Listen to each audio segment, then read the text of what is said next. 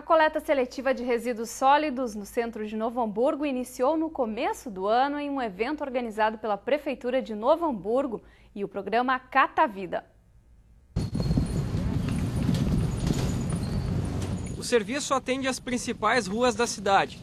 A equipe do programa Cata Vida conta com um caminhão de apoio e carrinhos para coleta.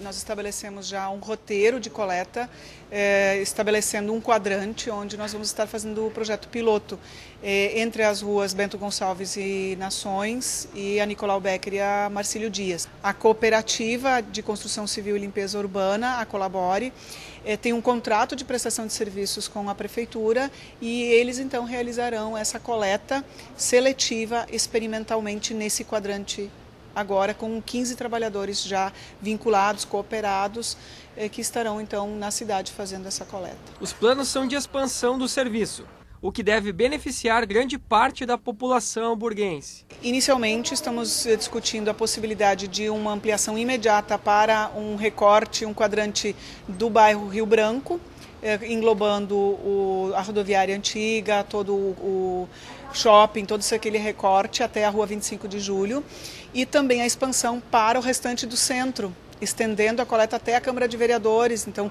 já tem uma coleta, mas que ela possa também ser diária a partir do mês de março. Um ato simbólico marcou o lançamento do projeto.